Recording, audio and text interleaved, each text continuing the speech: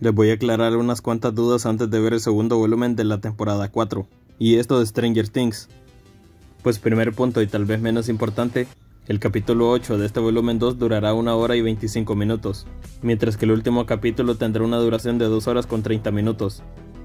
Como segundo punto, los hermanos Duffers, quienes crearon la serie, confirmaron que alguien muy importante morirá en el volumen 2, Quiero saber en los comentarios qué piensan ustedes de quién va a morir en este volumen. Como tercer punto, la temporada 5 ya está confirmada. Y en esta quinta temporada se nos explicará más a fondo algunas dudas sobre el mundo al revés. Otra cosa que debes saber es que habrá un salto temporal, en la que las edades de los personajes se ajustarán a la de los actores.